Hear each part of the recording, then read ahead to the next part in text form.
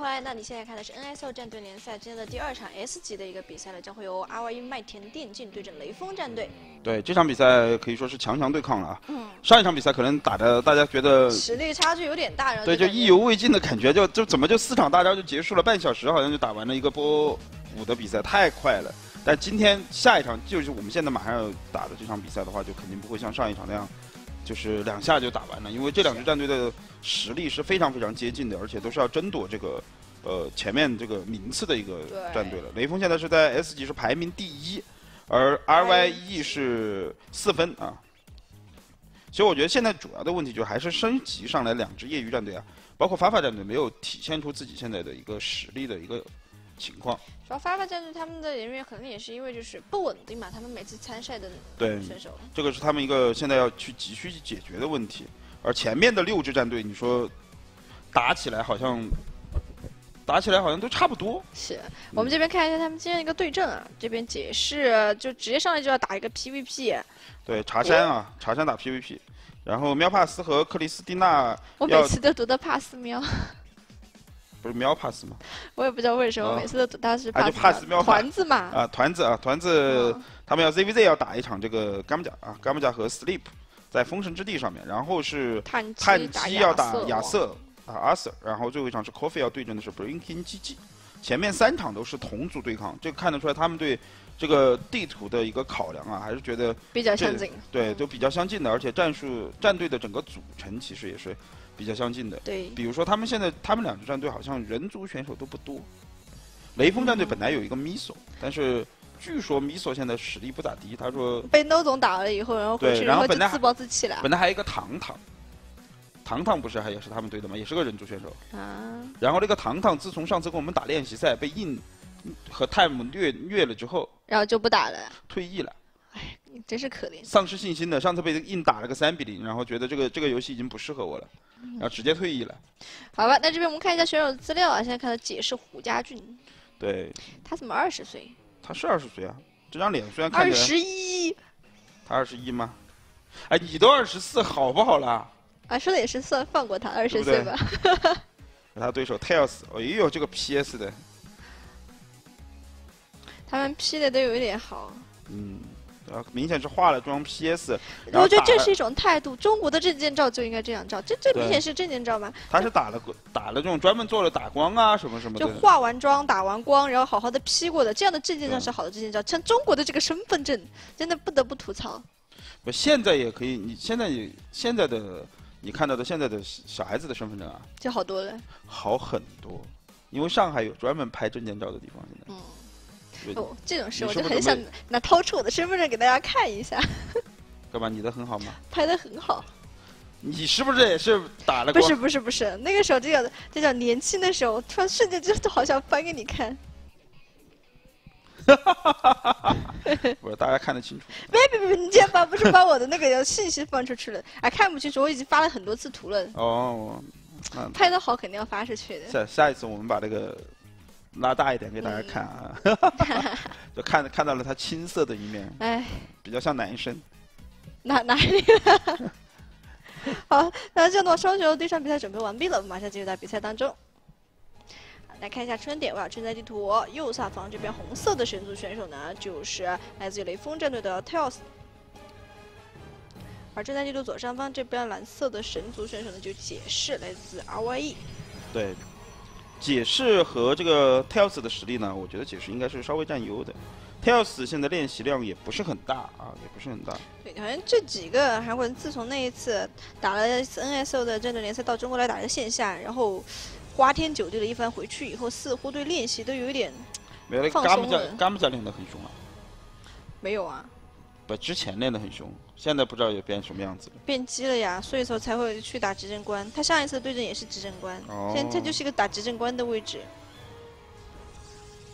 嗯，今天的这个比赛，我觉得麦田电竞啊，如果发挥好一点，是有机会把雷锋拿下的。如果拿下的话，那这个榜首的位置可能在这个赛季，呃，在在这一轮可能就会有发生变化了。包括分差的不是其实挺多的吗？不是啊，但后面 IG 啊这些会追上来呀。说的也是，对不对？然后我们战队呢？X Team 呢，到现在为止啊，没赢过。不过没有关系，我们三连平。但但是保平就很好了，保持不降级。不是，我们三连平，我们平的是雷锋、IG 和那个 R R Y E。有点强。我们现在就跟葡萄牙一样，准备去一一直平到最后。我们这个，我们这一轮是打了一个入，你知道吗？打入。我们准备一直平到最后。其实我们每一场都有机会拿下的。总是出现像硬核那个 silky 这样的毒瘤，你知道吗？毒瘤。他们但凡赢一场，我们都现在已经在榜首坐着了。哎，这没办法的，你一个现在打守望去了。没有没有，硬现在又不打守望。他又不打了吗？被我们好好批评了一下。他前两天来找我开了一次黑，他说要带我。不，他你不要信他的，他现在被我。我真的不信，然后带完一次以后，我就不想跟他再继续的组队玩下去了。他他现在最近最近这两天好像已经那个好好练习，好好练习了，因为上次太丢人了，上次他不是输了之后被我们全部嘲笑嘛，在群里，他实在受不了了，他说我要回去苦练了。然后 Silky 呢，主要是他的比赛发挥总是显得比较急躁，这个是可能是他的问题。年纪小，他其实以前不是这样的。他以前打的时候，他很长一段时间就没有什么特别大的进步，一直就是一个就是国服宗师、韩服大时代新的这样一个水平嘛，就一直保持。然后就是打的，因为太过于稳妥了。哦，好，哎，这边飞走了，两个人就就直接进去了。解释觉得自己防得住啊，他觉得防得住。开一把炮台，但只有一把炮台呀。这双线，哎呦，这双线，这亏大了，这个双线这样啊。不过好在解释农民没死几个，家里面已经在操作了杀农民。这个时候对杀两个、三个、四个，能不能再杀一个？哎，也就杀四个，四个对三个，还好。呃，这样还好。回城的，回城的，还好。也就一个农民的，一个农民的差距啊，差距不是很大。双方选择。解释这边是也是出了两个序列，都一样的打法嘛。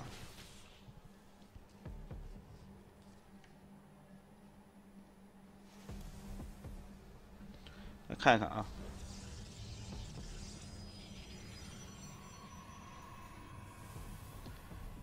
出一个冷静，都是出冷静，而 Tails 这边的冷静稍微出的晚了一点点，但是哎呦，解释少一个追猎不敢打呀。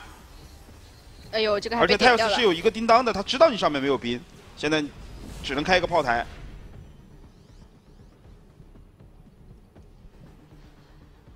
那这样的话，解释的这个棱镜没飞到什么东西啊，出门就被人搞了。他直接出去，哎，这个有叮当看到的。他胆子那么大，他在后面截后援，还是直接飞家。他直接飞家，泰斯这个时候回救，但家里面有有防守啊。哎呀，不会坠机了吧？这个，这坠机直接退了。还好，空空中的这一块有但这样他跳死直接打你家了。你这还怎么守？家里面现刷一轮兵在哦，还有个炮台，还有个炮台，还有个炮台，还好。就是说他自己，哎呦，千万不能坠机啊！这个地方。要这个冷静死了，那这全场也不用打了。嗯。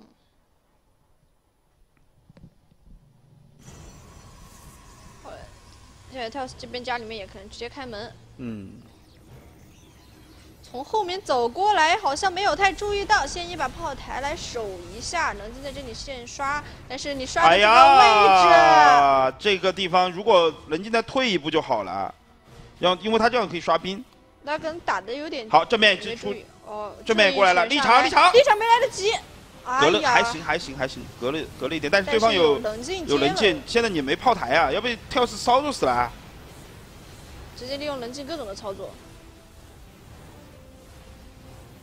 跳死其实操作已经很烂了，这个出了很多的失误。哎，他他这个操作已经很，哎，在家里面家里面是在打，刚才可能是。嗯，家里面这边解释给了很大的一个压力，这样的话正面跳是完全没有打进去啊。对，家里面这一下可能他要是操作双线出了问题，但如果他要是正常操作的话，其实解释早死了。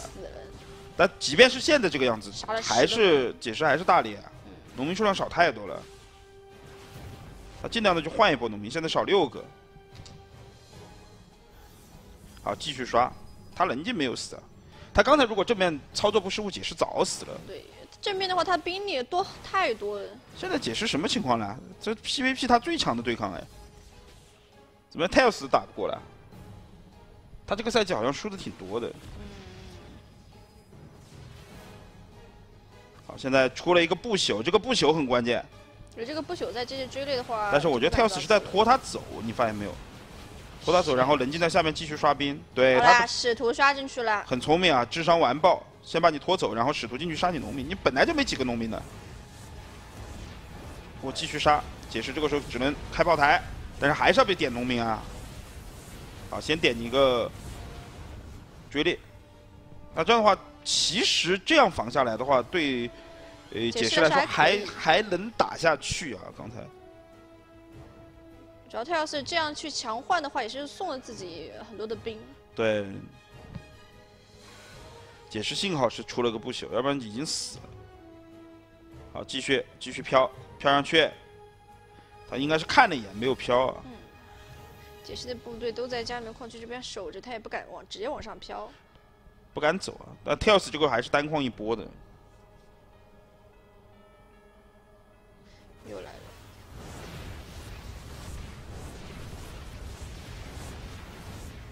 很极限。嗯。又是死两个农民，这个农民被控制的有点烦了。对，农民数量解释始终是追不起来，但现在他多一个不朽的这个科技，其实还是能打下去的。Tails 家里面有没有也在转不朽了？解释这个时候要反骚扰，他必须要把经济追回来。但实际上，双方现在的那个，实际上双方的那个呃经济啊，并没有超出太多。嗯。他要是强开黄金矿呢，就是要逼解释打一波。哎呦，三个哨兵啊！那这样解释输了。解释从后门这个地方。解释输了，就这样打，你除非是这一波打的真的是把他打死，就拼这一枪了。先断水晶吗？断不了，断不了吧？先断，先断，先断，先断两个出兵点也可以啊。先断，把水晶打了。对，先把两根水晶打了，这个是关键。好，就就拼命的，就这一波了。好了，那这样的话断了一个两个兵营的点。对，那这样的话，就对方只有两个兵营可以出兵，就拼这一波。就这一波很有机会，其实。对，对方其实兵也不多，对方兵也不多。但拖农民了。立场先隔一下，没关系，只是一个，只是一个这个使徒二使徒而已，影响不是很大。但对方两个不朽啦，但他多一个冷静的操作可以闪烁。啊主要是这个地方的话，矿的话，农民要远程去采。先打两个兵营也可以，这是解释唯一的一次机会了。就趁着对方开矿的时候，用不用这个使徒来打不朽。好，你开好了就。啊，这个炮台的话，对我就点你基地嘛，你开好了，我把你基地先给你点。这个不朽输出还是挺高的啊，这样，好家里面反正你打不死我的，我无所谓的，我也不采矿的，你就这样吧。解释这都能翻，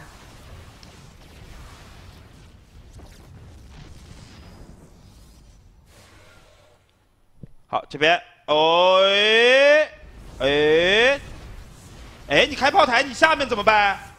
你下面怎么办，条子？哎，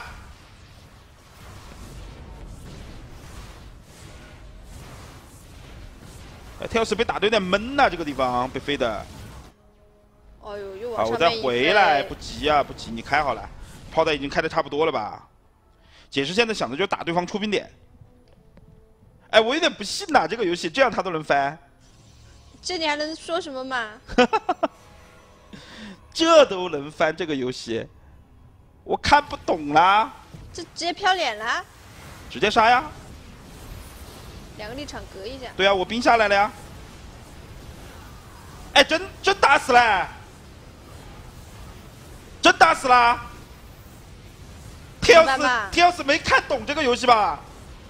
他打迷茫了呀，他自己主要是那个一开一开始打两个影不是他觉得自己优势无限大了，估计。哎，但这个炮台其实救一下，他救一下其实就赢了，因为对方没有什么出兵点的。嗯。而且农民也死死的太多了，这不朽只要救一下，下面只杀农民就好了。好，再打你水晶，这都能翻！哎呀，我估计现在雷锋在在这个电脑前在吐血啊！这个游戏，他肯定想不通啊！哎，我们明明就赢了的比赛，为什么最后会输？莫名其妙的就输了。对，关键是 Tails，你为什么要出去开黄金矿嘛？你到家里面随便开面矿，你优势还是很大的呀，对不对嘛？GG，GG。这都能翻啊！这个 我们怎么说呢？啊，刚刚说解释好像他最强的 PVP 要挂了，都说了一大堆，然后他反正不是我说的。你什么意思啊？你甩锅是吧？我不是甩锅，我就没有说过这句话，这句话就是你的说的。啊，就我说的，干嘛嘛？对不对？怎么样嘛，雷锋，你砍死我啊！我估计雷锋这口这口血绝对吐出来了。吐出来了，他看着这场比赛本来稳赢的局面，对，后面的话就是开黄金矿以后，他把所有的兵力拖到前面去了，想要护住这个黄金矿这个位置。他觉得解释应该是打他这里，对，昨昨解释从后面来的。这雷锋肯定现在很恨我。昨天我还在跟他隆中对，我们在为中国的三星际三年计划隆中对，你知道吗？嗯。我今天你就做出了这样的事情。没关系啊，我我们反正还是好朋友啊，随便随便对就好了，这个。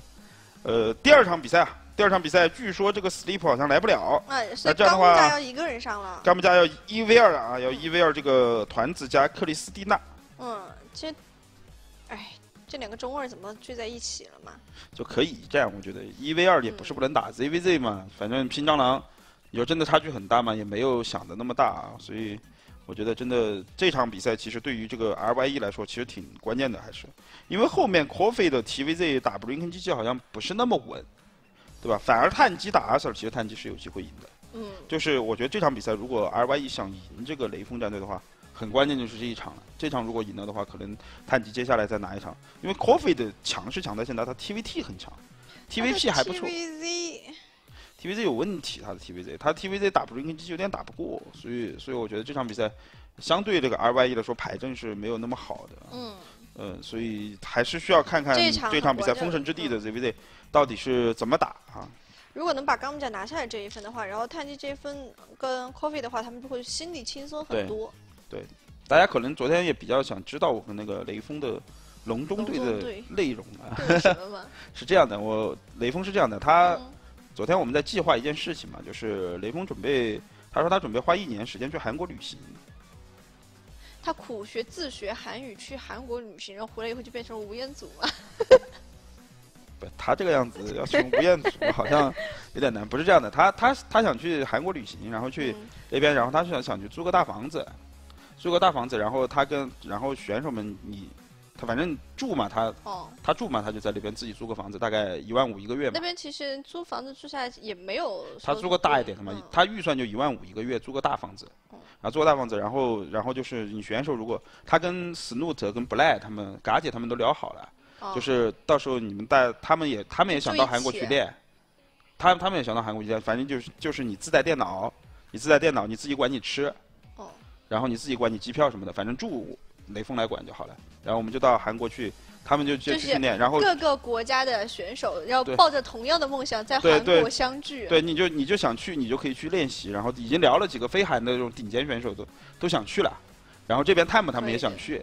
那这样的话，其实给中国国内一些小将很多机会啊。就是如果有选手想去的话，可以联系一下雷锋，然后说说自己想的，说明雷锋就让他们过去跟这些顶级选手一起练习的话，其实进步很大。而且在韩国的话，你可以有很多可以去学习很多东西嘛。包括包括昨天我们昨天也聊到跟 KT 啊这些也也也聊过一些，比如说我说我们中国现在也有这种十五十六岁的小孩子，韩服也有六千多分，对吧？也有六千多分，你们有没有兴趣让他们来过来练习一下？他们说也可以。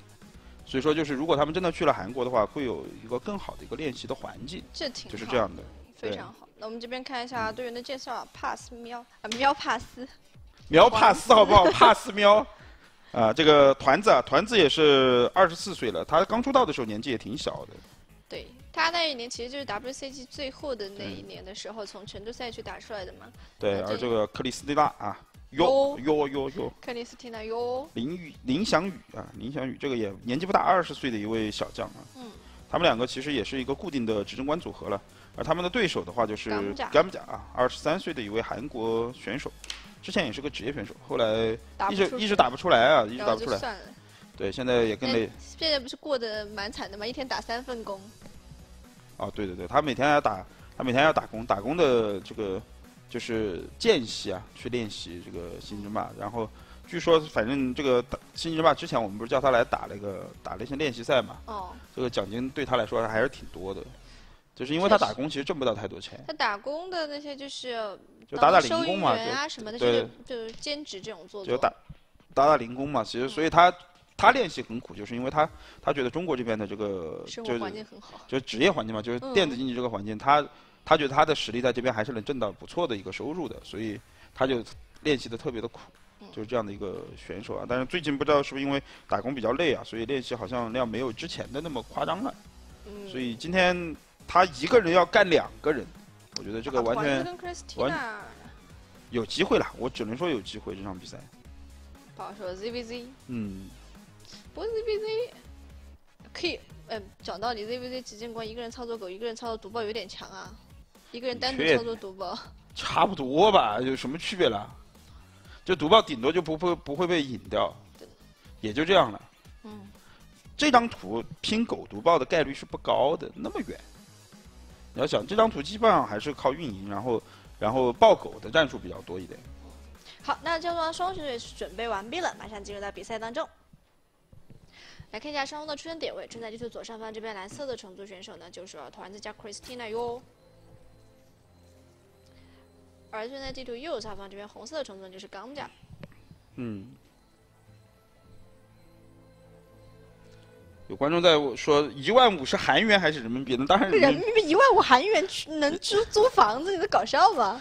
一万五韩元在韩国大概能，我想想能干嘛？能买能买二十瓶二十听可口可乐。你确定吧？的小瓶的八百块，啊八八百韩元一一瓶，我买过的。是吗？对的，我买过的，就那种很小的，不是那种不是我们喝的那个大罐的。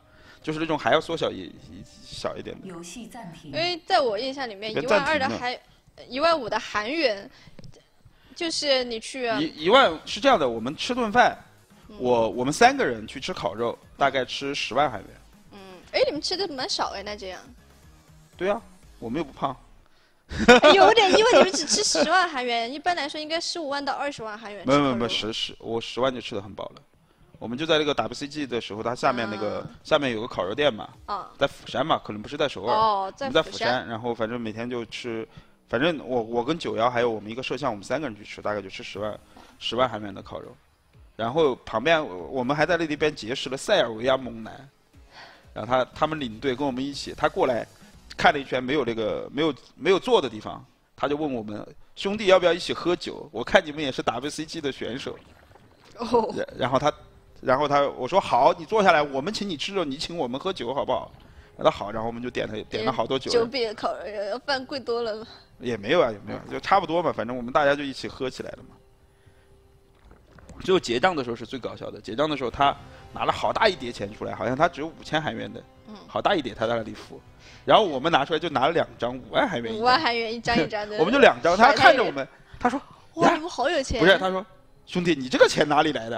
然后我们说换的呀，五万块钱。他说原来还有五万韩元一张的，我不知道，我换了好多五千韩元的。他完全不知道有五万韩元的。哎，反正很搞笑的。我跟你说，我们的三年计划是在进行的，每一个人都觉得我们的大跃进是是这种就是乱想的。我们这个大跃进是有有有方针、有目的的，我们在进行。蛮好的。对。去以后以后想去韩国看看比赛什么的，还能有个找个住的地方。对。啊，你敢去住吗？我要跟嘎姐一起睡。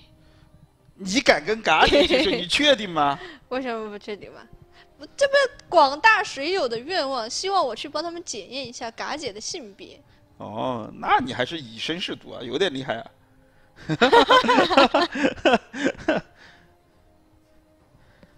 啊，这边大双方都是，哎呦，有好像嘎木甲准备要狗毒爆先压制了。嗯。狗毒爆压制打这边的。团子他们因为是两个人操作，所以还是觉得就反正我先出点狗房就好了。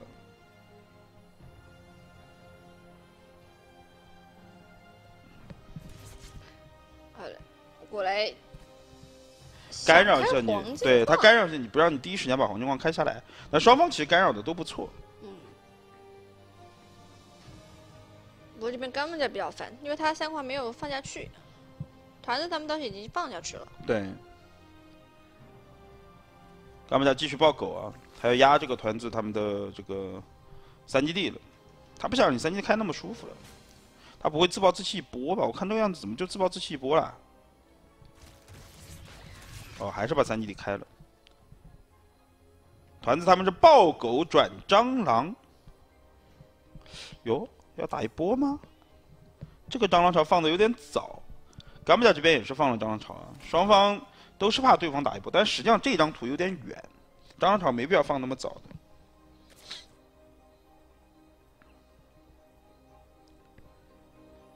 来看一看啊。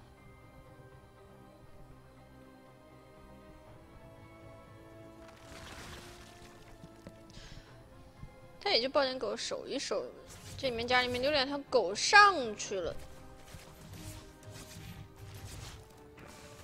上去就把家里看干净。双方这个时候都选择出门，刚好绕过去，而且两两边都没有停房子在路中间，这样都不知道。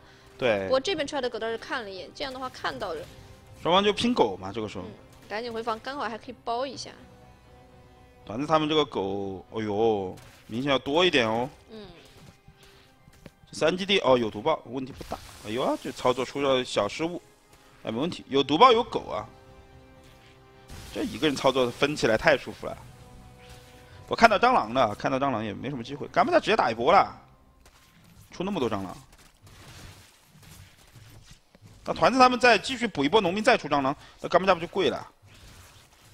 我好在甘木亚这边是继续的在补农民的，他只是为了想防守吧？对，求稳啊，求稳。这一波就是压制，然后补农民的一个打法。团子他们也是被迫的爆蟑螂，因为看到对方蟑螂出来了。双方打的节奏都很紧啊。哎，一个人操作狗真是爽，根本就不可能就出现那种什么中毒爆的说法。好，咬光你的狗，反压。咱们家这波农民可能要不不来付出代价啊！你上来，对方也有蟑螂的，你又打不到，就要付出代价了啊！不过好在有两个女皇啊，影响不是很大。嗯。干不家二基地也下去了，二本下去。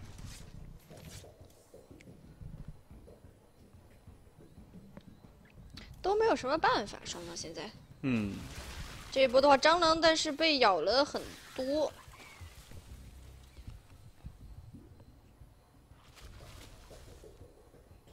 团子他们又爆了很多的狗啊！团他们好像是反打一波了，准备。对。他们家这边也意识到了，差两根管。呃，现在这个局面，哎呦，团子他们狗有点多啊，后面。爆了大量的狗，后续一直在接狗。高木家这里就一个毒爆，后续赶紧的再变毒爆。对他这两根管子必须要插，不插的话可能要被打死。两根拼的这个地方直接拼，但是团子他们的蟑螂好像没有第一时间展开。现在缓缓展开。蟑螂数量非常的多。但上面两根管子好了，这两根管子位置有点妖，我只能说。这两个管子从这个地方打过去根本看不到。好，团子他们也是压了一波之后直接回去继续运营。这场比赛真的是双方实力很接近啊，都是以狗蟑螂的压制为主，而且没有给对方一个运营喘息的一个时间。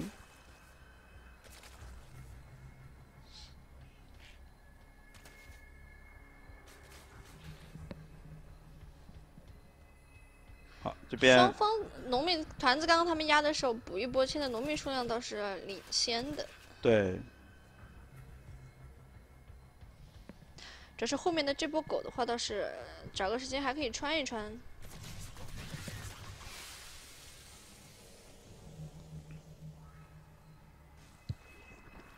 好，要等蟑螂的速度了。呃，甘布加这边蟑螂速度还是要快一点。这蟑螂速度快的话，它还是有一个压制的空间的。但是没关系啊，这个现在现在这个局面大家都稳住了。你说真的能杀到多少东西都杀不到了，反而是看谁先把四基地甩出去吧。团子他们已经把四基地甩了，甘布加应。干木匠他们也应该要甩了，但他们不好认，因为团子这边其实两边都分了狗，在两边矿都有防备的。对，这个其实就是执政官的优势就在这里了。嗯。所有的运营还是要领先一点的。就占一点点便宜，每一次都是一点点，好，直接过来。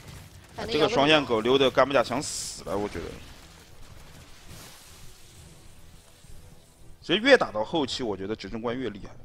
因为要操作的东西越来越多，你这个执政官操作的东西就要比单人还是要多很多的。双方要莽蟑螂了，我看这场比赛，团子他们现在运营明显是领先的。一百六十六人口打一百四十，哦，一百七十八人口了，很快啊！而且他们一直现在在大量的报名，部队人口已经是差了三十了。对，现在这个局面对甘布加他们来说很难控制了。嗯。这一波过来可能直接要顶死，多五十人口了，快！我觉得可以顶的，可以尝试性的顶一波。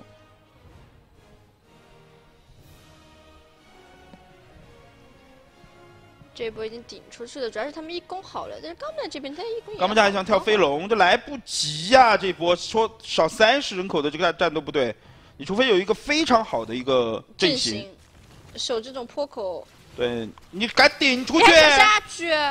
呦呦，这火砸的还行啊！冈布加这个时候是以气势取胜，我敢下来证明我比你猛。下来，你知道我蟑螂比你少吧？现在赶紧再蓄势，再蓄点蟑螂，继续站路口。团子他们抹上来了，上去了，抹上来了，这个打起来了，但没砸到，这这这不会中火吧？哎呦，这中了一点点，中了一点点。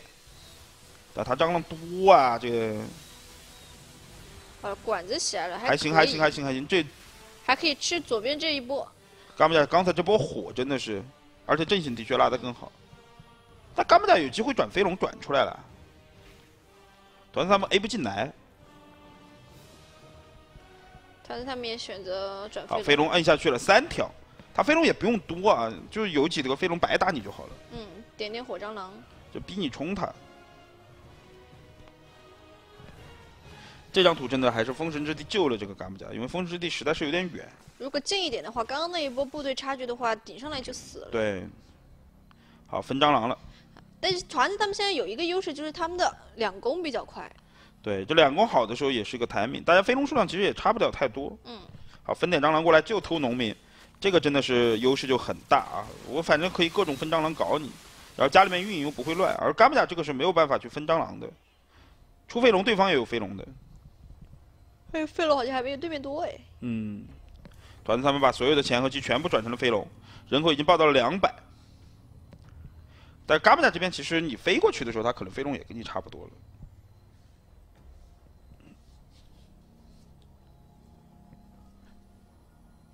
那怎么办呢？好，再压制。哎，其实真的甘木甲还是挺强的。你想，他一个人打别人两个人，打打的还挺好的，真的。没落后太多啊，这种比赛。这边顶一波，但这一波好像顶不进去吧？两边一起过来，这波上面还有飞龙呢。哎，哦，拉开了，拉开了。对吧？对，上面还有飞龙呢，你你真当别人飞龙没输出是吧？现在飞龙不停的占你便宜，就点你什么火蟑螂什么的，你都亏啊！全部打成残血，团子他们要反扑了，这时候其实真的可以反扑了。这个时候反扑是机会，因为他们的两攻好了呀。对。然后又点了这么多的火蟑螂，哦，有大量的飞龙过来了。这时候对 A 呀，我干嘛？我飞龙拖着你，我就给你 A 了。他不应该跑的，他已经满人口了，你跑也没地方跑。你跟飞龙对 A，对方的飞龙也不会剩两条，然后你的蟑螂肯定比对方多。反而这个时候你拖下去的话，让对方飞龙成型，你还没那么好打，因为对方你看他的蟑蟑螂啊，全是残血的。哦，不过好在这个多线分的还不错，拖的这个甘木加也很难受啊。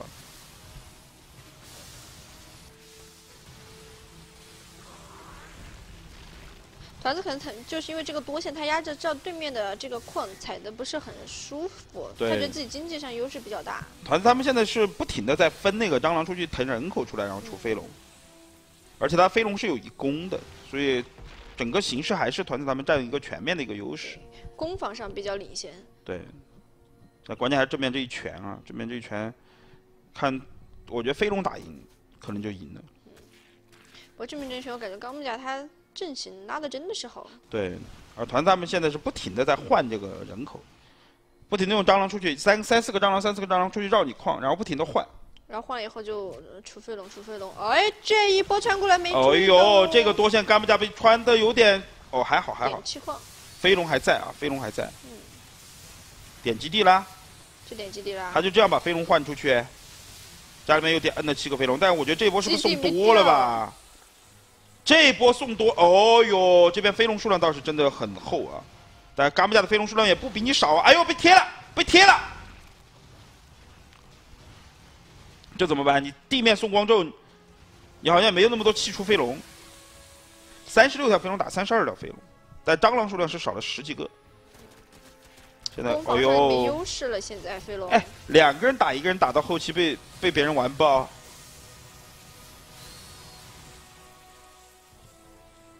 现在差不多啊，双方这场比赛其实打的挺精彩的。双方的这个实力相当啊，实力相当。但是我觉得如果单挑的话，那伽马加肯定要比他们都要强。那这也是我们这个赛制最好的一个地方啊，就是给实力弱的选手的机会，有有点机会啊。对，出感染了，出感染也是回事儿。好，两个人飞龙对搞，先把基地补了，然后你补对方基地，对方的飞龙也去你家了呀。来吧，飞龙过处寸草不生。好，要要拼了！我感觉这个飞龙要拼了。两个人互传狗，这狗已经不要管了，就拼这波飞龙。飞龙跑掉了吗？抓起来，没截到呀！哎呦，这你这截不到几个。他们家现在跑啊，准备要找一个机会回头了。其实这个阵型有点好，回头。现在好一个回头，在团三妹聚到一起，拼了，拼了，拼了，拼了！飞龙来了，拼了。现在就是拼飞龙的时候，双方的攻防是差不多的吧？一方团子他们是应该快一点，一样的，一样的，一攻一防，还打赢了团子他们。下面用狗来解决对方的蟑螂狗，好像有点解决不动。来了几条飞不过他的飞龙还是打赢了。现在飞龙数量，哎，团子他们跑，哎哎，打了，打了，他觉得打得过，直接转身，打赢了，打赢了，打赢了，还是打赢了，继续。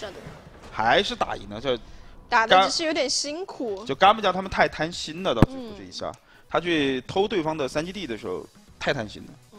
他其实当时如果是回救慢慢的守的话，其实这场比赛他是有机会守回来的。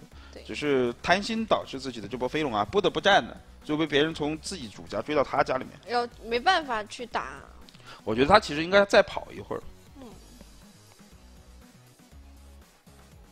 嗯。哦。哦，这边。可能选手的时间问题吧，然后去把第四场四场先提前打。那就是 Coffee 要打 Breaking GG 啊，我们是提前到第三场来打，他们可能有其他的比赛要打吧。对，然后就协调一下，就是把他们的时间调整一下。第三场啊，嗯，冰封神殿的。哦，Breaking GG 打 Coffee。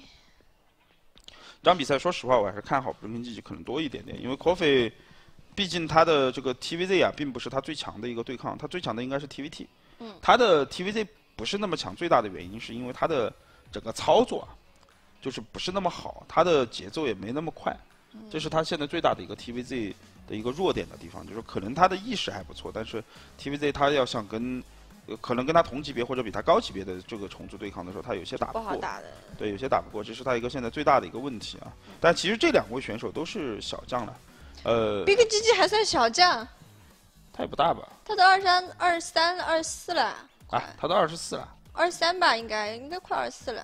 你确定吗？一会儿看他年纪，真的讲道理，为什么会是小将呢？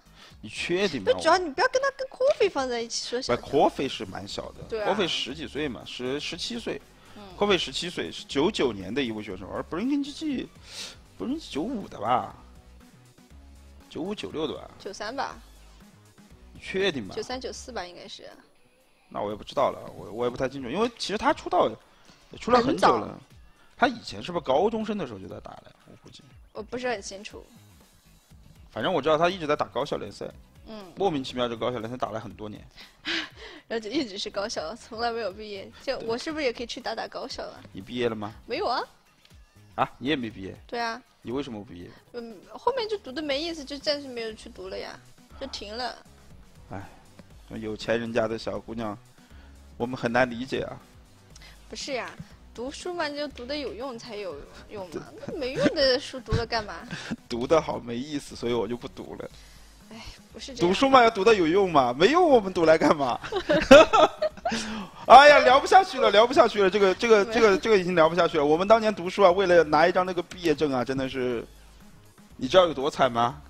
考试有多辛苦吗？我们最后毕业为了找一份工作多可怜吗？你我你这么说我是不信的呀。啊，真的呀？因为你一开始不去就过来当解说了吗？那个时候。谁告诉你我拿拿好大学毕业证才出出来做解说的好不好？对啊，我就是说你根本就你你那个时候有去出去找过工作吗？有啊。怎么没有？怎么没有？我也投过简历的呀。要什么学校招聘的时候我也去过的呀，我也跟别人聊过的呀。然后面试的人跟我跟我扯淡，然后我用我的三寸不烂之舌，然后成功把他忽悠了，然后最后我没去。然后你就直接过来当解说了。我应该是的，我毕业之后就差不多。我毕业之后最早是这样的，我毕业的时候我就觉得我要，我觉得我不能干那个。我以前不是讲过嘛，我不我不想去干那种什么卖药的工作。卖药。主要他看我那么能吹，对不对？绝对是卖药。忽悠你去。不是卖药的一把好手，你知道吗？然后本来是我去从事这个医药代表销售的这个工作的，然后我没去。然后。哎，工作其实蛮好的耶。是蛮好的，但其实也也不一定吧。我说，因为后面不是有一段时间严严打什么的，把抓了好多人嘛。幸好没去啊，去了说不定你们说说说不定你们在铁窗里面看我场铁窗泪了。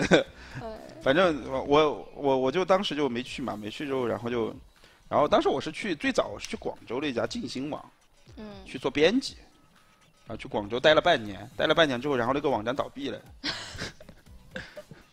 然后呢？倒闭了，然后我就去那个成都一个俱乐部，那个时候有个俱乐部，俱乐部呢？我俱乐部待了一个月，待了一个月，我觉得实在是太无聊了，然后当当时刚好牛 TV 招人，我就来牛 TV 了。哦，我也找过工作的好不好？但你这个工作其实都后面都是比较相关的。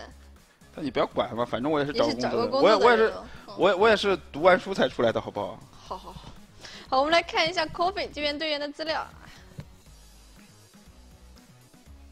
Coffee 啊，十六岁，吴亦勤，是读琴吗？这个字？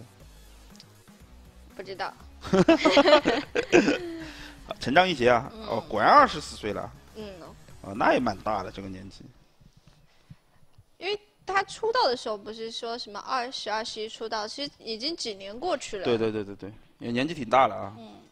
那这样的话，我觉得我开始一直以为布林肯基奇年纪可能就二十岁左右，原来已经二十四了，那是没什么前途了。完了，这感觉以后今年的 WCS 冠军、明年 WCS 冠军 BKGG 好有机会了。嗯，他实力现在我觉得他是这样的。他现在大概在韩服是五千七到五千八的实力，嗯。五千七到五千八在国内大概什么水准呢？就是打 GPO 小组有机会出现，然后运气好在八强拼一下四强有机会。他当初一开始的时候，我不是在劝他好好练习吗？我说你每天练个六十盘，三个月，嗯，绝对。全国嗯进前四绝对没有问题，然后他练了一个月不到还是两个月的样子，他就说不练了，不知道，然后就觉得什么什么，就觉得太辛苦了，打心机要靠脑子。好的，那这边的话双手准备完毕，马上进入到比赛当中。好，来看一下双方出生点位，现在就是左上方这边蓝色的人族选手呢，就是 Coffee，嗯，来自麦田电竞，而正在地图右下方。啊，这边红色的虫族选手就是 b k g g 来自雷锋战队。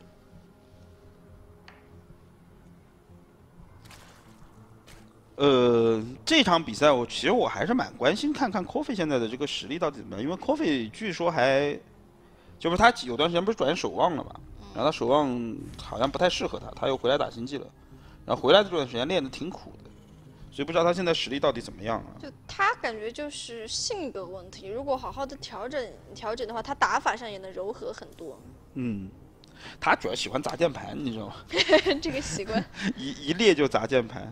我我觉得他这样的话，以后是没有赞助商，他待的俱乐部，我觉得赞助商可能很难有键盘赞助商想要赞助他们。因为换的有点快的。但说实话，年轻的那帮选手好像脾气都蛮。都蛮那个，年轻人有脾气是好，都蛮冲的，都蛮冲的，因为他们可能在那个就性格方面啊，都还是蛮蛮急躁的。嗯，你看我从来都不砸键盘，年纪大了呀。我小时候也不砸键盘。那你小时候脾气也很冲的呀，是不是嘛？不是，是因为那时候穷，砸不起，砸不起。现在如果是那个时候的脾气，就就砸了。我估计会砸几个键盘的，不是那个时候，因为好不容易攒钱买了块机械键盘，对不对？舍都舍不得还砸，对啊，砸自己都不愿意砸键盘。刚想砸，然后想想，哎，算了，太贵了。哎，你有砸过键盘吗？我我没有，我一般是砸鼠标，砸键盘痛啊手。哦，就把鼠标直接就直接打的很不顺的时候，鼠标就一扔。你砸过手机吗？哦，这个砸过，但是以前手机很便宜的时候，那个时候还是小灵通的时候砸过。我 也我也砸过。但是自从用了 iPhone 啊什么这种以后，就再也没有砸过手机了。哦。我所以讲道理，人的脾气可能还是与钱有关。有一次我砸了一个 Note 三，砸砸完之后我就觉得好伤，好伤。看来我比你要理智那么一点点。我只砸过小灵通。好伤，对。好，这边是三，呃，双双兵空投了啊，双兵空投，而 b r i n k 机器选择的是火蟑螂直接压一波啊，他的打法好像都还是偏向于前期要把人族打伤的打法。嗯，这个 Coffee 完全没想到啊，我估计。没想到吧？他他可能觉得一向都是自己放战术的，别人一般很难放战术他吧？对，Coffee 又要叫了啊，曹迪又要叫了。这个战术就无敌，这个就是战术就不可能输。对，怎么打？曹帝本来每天就喜欢这样说，我其实他对比赛还是挺看重的。上一次他那个，上一次他这个比赛不是输了嘛？上一次 NSO 他不是被淘汰了嘛？嗯。我看他在下面哭了好久。是这样的，其实打星际打得好的，讲讲道理，性格应该都其实比较争强好胜的。对对对，你不争强好胜的话，你很难在一个人的项目这样去练。很难打得好，主要是很难打得好。这一波先换啊，先换火蟑螂，换不掉，换不掉。草地这个操作还不错，这一下。嗯。现在要拖农民手了，他要拖时间，关键是，但运输机肯定是拖不出来的。呃，尽量的尽量的换一下对方的部队，对方也是想通过这个火啊，逼迫你的农民走位。不过曹地这一波操作真的有点好。嗯。你看农民也是没有尽量的没有让被砸到。不错啊，这个操作真的不错。调整位置都调整的，就是很细的那种。对。哎，草地进步了嘛？感觉这个操作。以前草地那个操作粗的，哎呀，哎，哎，好好看比赛吧。哎，这什么鬼？不要表扬。什么鬼？刚说话话音未落，他就中了两个火。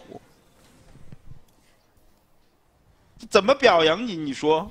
不要表扬了呀，看图说话呀。不，刚觉得他进步了，对不对？有前面两次拉扯，拉的真的漂亮。对你感觉哎进步了嘛，然后就中了。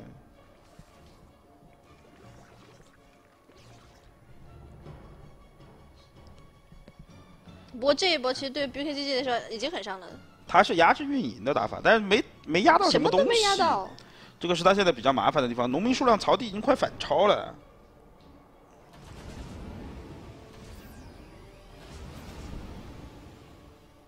好了，这两船兵出去。不过这边房子散得很开，这样的话全部在视野范围。这个反正没事了，他有蟑螂在，问题也不大。但是就是农民数量上来说，现在是有点伤。草地直接啊，先从这个地方先投下来，然后走上去啊。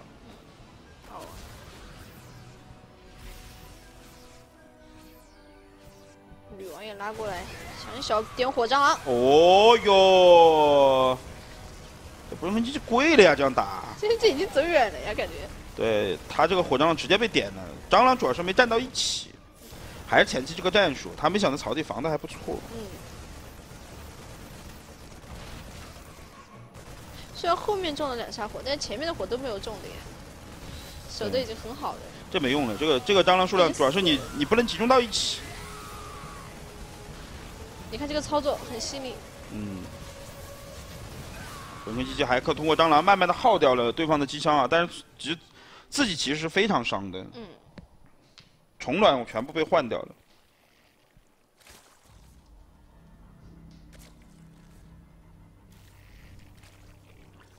呃，本根机器这场比赛还有的打，还有的打，我只能说四十四个农民还有的打。草地刚才有点太狠了，他其实打掉对方那个时候，他如果直接去点那个基地的话，布瑞根基地就不用打了。嗯。他可能也没想到布瑞根基地会防的那么差，他觉得一波就打死了。现在曹地要推推第二波，第二波三。第二波推上去，这这波很难守啊。对，布瑞根基地不能补农民，补满的话肯定死。他这波的话是尽量的补，就是三矿尽量的能补一点是一点，然后要全力的爆蟑螂火蟑螂才守得住。好了，要出门了。啊，这波太快了！我觉得布伦基也没有防啊，就很难守这一波。草地部队太厚了，拼命的在爆兵。但这张图的话，中间走过来也比较近。现在爆兵的话，他还在提自己的一防。对，看看这一波啊，这波拼命爆兵，我觉得也很难守啊，因为他是纯机枪的部队。他上面阵型已经散散好了吗？散好了，散好了，就等你来。就等你上去。我直接上来，这个投的太快了。羽皇直接顶上去，先吃两炮坦克火力，但曹地直接顶。看这边一个火砸，砸到了坦克，但是没有用啊。第二个火。曹地收漂亮，不，不应机这波顶的还行啊，我只能说他刚才那个女皇顶的非常的好，吃了坦克两波火力，这两波火力是决定性的。要是如果是全部砸在蟑螂上的话，可能就直接就打穿了。那现在草地可以源源不断的接兵的。对，主要三矿这里就沦陷了。我三基地要掉，这个三基地不能掉，掉了的话就输了，这绝对不能掉这个三基地。赶紧后续的一波兵过来。拖农民直接上，对他必须要守这个地方，但是后面的机枪又到了，又到了，草地这个时候把坦克接走，哎呦，死了死了死了，解放者到了，死了，死了，这没救了，真没救了，这还是前期这个战术太亏了。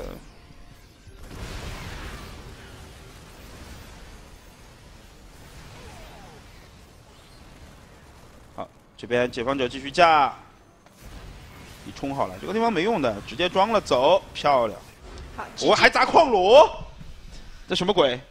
哎，年轻人脾气大嘛，输了砸键盘，赢了砸矿炉。他们俩有仇吗？没什么仇。没有没有没有，就好玩。对，估计也很熟啊，因为以前那个不人跟机器也是那个麦田战队的。对。也不算麦田啊，算那个比哈的战队的。嗯。后来他不是离开了比哈的战队嘛，所以大家应该是以前是队友啊，所以挺熟的。啊。其实仙际现在中国这些这些都都比较熟。都比较熟吗？啊，其实蛮熟的。对，因为好像平时练习、练习、练习比赛都经常碰得到啊，这个所以都还挺熟的。所以砸矿螺之间这些事情也很小事。砸我跟你们说，有时候砸砸矿螺心情舒畅。真的假的？真的。你是个虫族，你砸过别人矿螺吗？我我有时候玩人族呀。你也砸别人矿螺？砸的呀，爽啊！素质太差了，我都是打太阳拳，他竟然砸矿螺。你素质也没有到哪里去吧？素质太差了。我唯一就是不怎么派别人基地，因为每次我打死别人的时候都会忘记带农民。那这样的话，雷锋战队首场败绩啊，这个赛季。有点惨。三比零啊，被 R Y E。碳基打亚瑟，如果碳基还赢了四比零，我觉得雷锋雷锋血都要吐出来。对，因为前两天雷锋还在跟我说，他说：“哎呀，我们队现在有点不行了。”我说：“什么情况？”然后他说：“我们队的这几个韩国人啊，都不练的，然后跑的跑，散的散，什么好不容易来个堂堂，还被你们打退役了，什么什么。”我讲 他什么时候能开启新的一轮转会狂潮啊？我说：“你至少办赛季中嘛，你赛季中的时候，你我给你给大家一个转转会的转会的时间嘛，但是你只有也就赛季中这一次了。我看雷锋这个样子啊。”赛季中做好准备了。现在，我觉得下赛季估计他们雷锋战队就是谁了？嗯，嘎姐、斯诺特。没有，这些都有队的，都不能招的，好不好？嗯。不能招的，所以我不知道雷锋现在在赛季中会下什么狠手。但现在他们还是排名第一的，对不对？他还是排名第一。排名还算是比较稳，因为虽然说可能打今天打 R V 一输的比较多，但他其实打其他队的话胜率也很高。对我们，我们队伍最后会有四个队伍进入到最终的线下赛。嗯。啊，所以我觉得其实对这些战队来说，前四是非常重要的。而这一次，其实前面的六名战队都争夺很激烈。说线下赛，我好想提个意见。你想干嘛？就是你看韩国的打那个战队赛，没打之前，所有的选手出来站在一起亮个相、鞠个躬。我们战队不是，就战队联赛所有的人应该出来亮个相的，对不对？可以的呀。然后还要拥抱，每打一场下来拥抱一个，体现战队之间的友谊。你确定战队赛有拥抱吗？有的。每一场下来都拥抱，只要赢了下来就拥抱。他是抱他们自己队的人吗？对啊，是抱自己队的呀。哦，你看上我们队谁了？你那么想？没有，我有不是说我。哦，那那你是想让对面的哪个哪个人拥抱？没没有，你为什么就一定要往这方面想呢？我只是觉得就是，我感觉中国的这些队员们之间要多团结团结。哦，也有点道理。因为说真的，你打比赛的时候下来抱一抱什么的。呃，感觉很好那种，因为你赢了比赛嘛，感觉有人跟你一起分享。就是机机长啊，或者怎么样的这种事，但是我们没有地方坐呀。第一排给他们排两排坐着，要求他们必须坐在下面看。团队意识。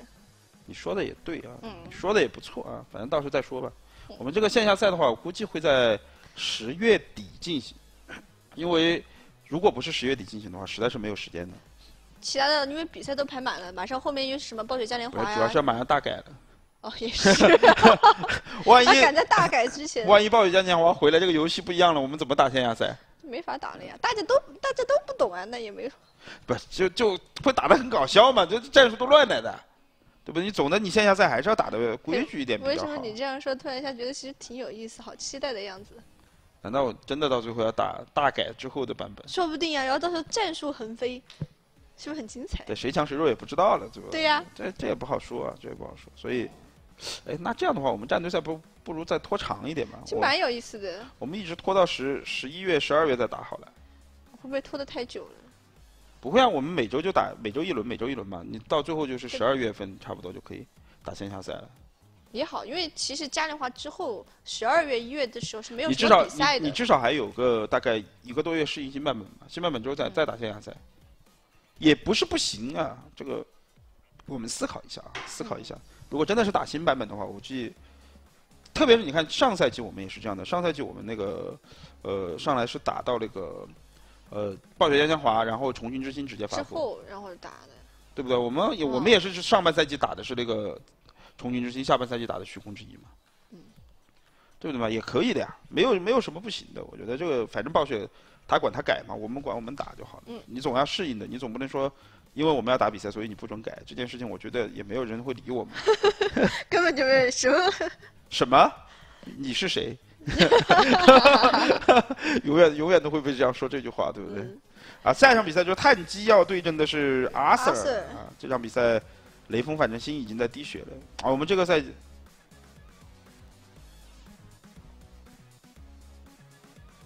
啊，现在亚瑟还没有到，所以在计时，最后倒计时，他如果再不到的话，就会判输。但是现在有个新规定吧，好像这是应该的呀。其实不是有个新规定是弃权的，好像要被。罚分的，真的啊？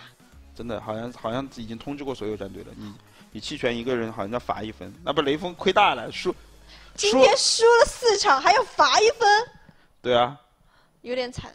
他本来是十分的，然后变九分。嗯。哦，雷锋血都吐出来了，这太不靠谱了。雷锋付他们钱吧？我估计付钱的吧。付的呀，不付别人干嘛要来打？不是，他们最后可能是那个吧？最后最后，比如说。打进线下赛有奖金的嘛？因为这个队其这个战队联赛 S 级都有钱的，最最后一名有五千块。啊，对对？但其实我觉得以前那种很好，就是赢一场比赛给。什么时候有？我说你，我们自己办，我们自自己办比赛这种办法，对吧？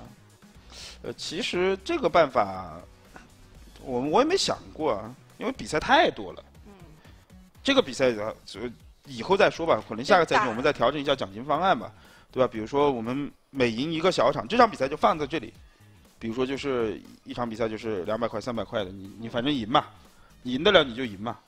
一个赛你我我战队赛有这种就不太好。战队赛你你算有一个你知道是什么吗？战队赛比如说是，呃，现在一个战队一个赛季是要打十三场，嗯，应该是要打十四场比赛，嗯，打十四场比赛，十四场比赛里面一共是有四个四个那个小分，就是五十六场比赛，啊，对不对？五十六场比赛，一共五十六场比赛，然后你再算奖金嘛，对不对？每场比赛两百块钱，三百块钱。就战队联赛有一点不能这样用对不，就是下等马去拼上等马，但是下等的马不是很可怜？那怎么办？谁叫你是下等马？没实力是这样的了。那你又不知道会排到对方谁的了？嗯，也是。比如说你是你这个比赛如果是，因为这样的话会有一点哈，就是不会随便的弃权。对，如果是两百块钱一场的话，你你算一算，你你五十六场比赛，嗯，对不对？两百块钱，两百块钱一场，会不会多？呃，是五十六场一个一个。我数学比较差，你不要跟我说这个，好难算的。反正回去算算钱吧，对不对？呃，我我觉得这个这个方式也许会让各个战队在每一场比赛可能会打得更为激烈一点。对，就打这大家每次都进行上最强的一个主力，然后主力的话也会自己就是啊协调自己的时间吧。对，因为这样的话你也你也拿得到钱嘛，然后打到季后赛可能那个奖金会加的更多一点。反正你最后的总奖金你是放到了一个位置是，比如说你是二十万、三十万的一个总奖金，你在这个额度里面怎么分配这个奖金是另外一回另外一个分配方法。现在的分配方法就是，比如说第一名是十万块钱，第二名是什么八万块钱，第三名是多少钱这样的一个分配方式。这个的话可能会导致有一些战队啊，就是打到中后期的时候，他们不是那么努力，因为他们拿不到钱。反正我拿不到了，我也进不了了，反正我就我就到后面去搞就好了嘛。哈哈哈哈哈！雷锋果然要被罚分了，直接判负啊！这场比赛虽然不影响最后的大局，但是判负了。最重要是罚分哎，就等于他们要扣五分。扣一分吧，扣五分。不是啊，他们输了四场嘛。我说今天一共总的。不是啊，你输你输了不是？啊，罚是罚大分一分好吗？你以为罚小分一分啊？我以为是罚的小分，居然是罚大分。小分有什么好罚的吗？肯定罚大分的了。我那有点惨啊。那罚大分你就积分就少一分呀。有点惨。那不那不吐了？我那有点惨。那谁叫你弃权的？我上上上次 party 弃权的时候，大家已经说清楚了，一定会出规则的。然后我我好像是记得赛事的工作人员是。就是跟那个所有战队都通知过这个，就是后面的一个就是处罚办法，具体的处罚办法我我好像我也记不清楚了，但是我下去看一看一看，但是具体的嘛。对，具体看看看是怎么样的一个处罚办法，肯定会有啊，所以我觉得雷锋战队今天真是屋漏偏逢连夜雨，对吧？本来你至少保平一下，对不对？怎么样的一下你。拿点分吧，你现在排名第一，然后你这样又输，随便拿点点分也好的。对，又输比赛，这样让麦点电竞先拿三分，然后你自己如果再罚一分的话，那里外里四分呢，这个对你进季后赛的时候还是有压力的，所以大家不能千万不要去轻易的去弃权啊。嗯，你既然决定来参加这个比赛，就是考虑好自己那个时候有没有时间。这个也不能换人的，因为如果你换人的话，对对方也不公平的，因为这个比赛是盲排的。对，这个比赛是大家都不知道的啊。好，那这样我们看一下今天结束之后的什么一个分。目前的话，IG 就直接超上去了。哎，怎么雷锋就变六分了？这什么鬼？嗯，他四分呀，IG 六分啊。不是，雷锋之前是多少分吗？之前是八分啊。他八分吗？对啊。那罚了两分嘛？那么凶啊？罚那么狠啊？到底罚几分啊？工作人员告。哦，他之前是七分。哦，他之前是七分，然后罚了一分，六分。罚一分。然后交又输一场，对，输一场就零分，你不加分嘛？嗯，对，负一分打的这场比赛，罚了一分，那好惨啊！从本来好歹还是能够排在前三，呃，排在那个前面跟 IG，比如说我们比一下其小分什么的，对吧？啊，哎，就直接就让 IG 登顶了。IG 今天有点莫名其妙，哎，然后怎么就直接就第一了？但是 IG 少赛一场嘛，我觉得 IG 在下一轮打好像是打 His 战队。我觉得 IG 拿三分是问题不大的，所以 IG 可能要直接要排到第一了。啊，雷锋真的是真的有点吐血了一口老血，就我在这里辛苦的为你们中国星际的未来所奋斗，然后你们结果，谁叫你找那么多韩国人呢？你找点你找点中国选手啊，对不对？你找点那种就是年轻的中国选手来打嘛。对呀，你看找找什么。把镜啊、奇克什么的挖过去。对啊，你挖几个，你就想挖散一个业余队，是不是？说完以后，我就觉得有点好像不太好。反正我是觉得吧，你你像像你派莉莉啊这种上来打打嘛，也可以的嘛。对呀。对吧？他至少他不有一点，他不会弃权这件事情。嗯。好，那这边我们来看一下明天的一个赛程。明天的话是两场 S 级的，将会有 Solo Hunter 对阵发发托斯 Next 的一个联队。然后第二场的话，X Team 将要对阵入跟闪电狼。对，如何闪电狼？那这场比赛，明天排阵想好了吗？上谁啊？排阵早就排好了，上周一就排好了。周一就排好了。周一我跟我跟大家说一下，周一我们就排好了。第一场，反正最后一场我记得是泰姆打土豆民，然后是 Silky 好像是要拼那个萨基亚还是谁？然后茂神跟阿罗哈是要拼蒙斯克和那个谁的一个执政官组合。嗯。然后还有一场是谁打胖克？好像好像是硬打，硬打胖哦，不硬打 Rex，哦硬打 Rex，硬打 Rex，我感觉这个排阵排下来还蛮好的耶，对呀，双方实力都差不多。对，关键现在所有人预测硬会输给 Rex，所以硬毛掉了，硬苦练了一个星期，说要打爆 Rex，Rex 来保保那个证明自己的一个实力。好吧，好吧，好，那这样的话，我们今天的一个战队联赛的话到这里就结束了。明天的话，依旧是晚上的七点同一时间继续两场 S 级的一个比赛，明天再见，拜拜。